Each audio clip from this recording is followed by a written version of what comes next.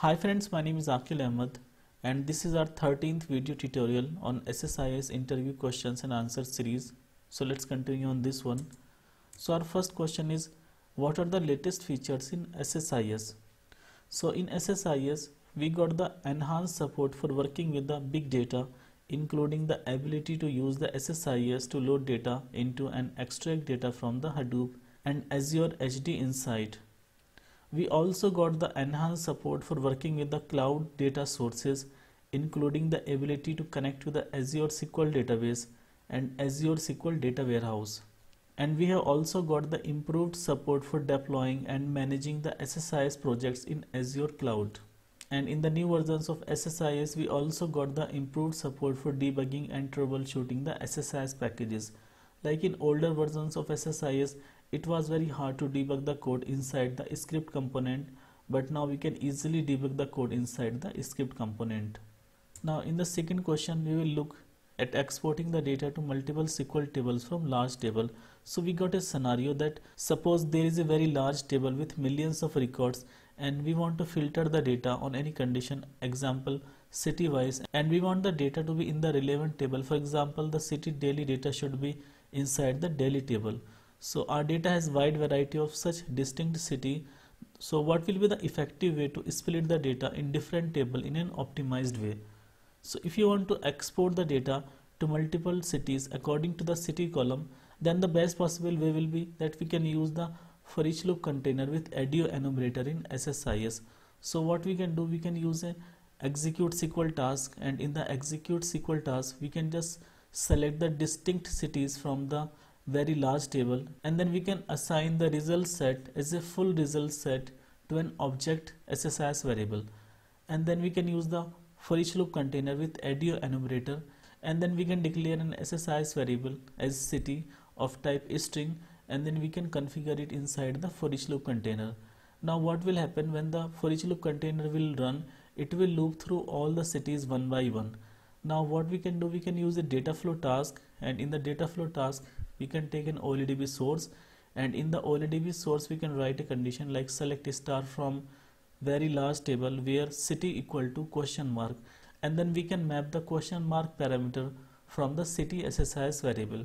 And alternatively we can also write this particular query in a SSIS variable like select star from very large table where city equal to and then the city from the SSIS variable okay?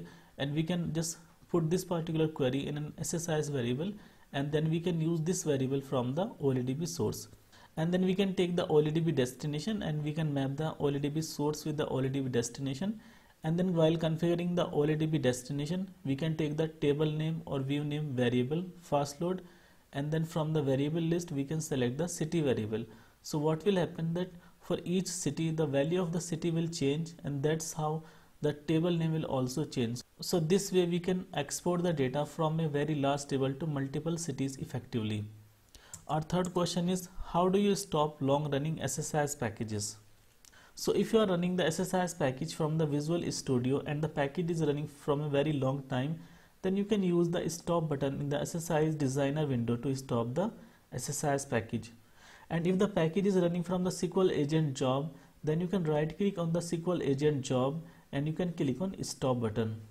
And if the SSIS package is running some query on the SQL Server instance, then you can get the SP ID of that query using the SP who2 active and you can kill that particular SPID so it will stop the execution of the SSIS package.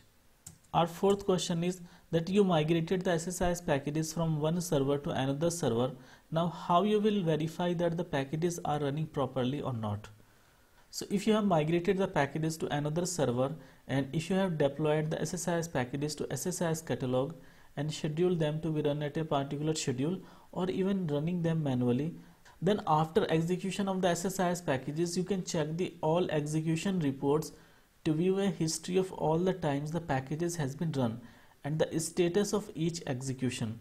So if the package got failed, then you can easily know that the package got failed and you can also check the failure message as well, error description. So you know like why the package got failed.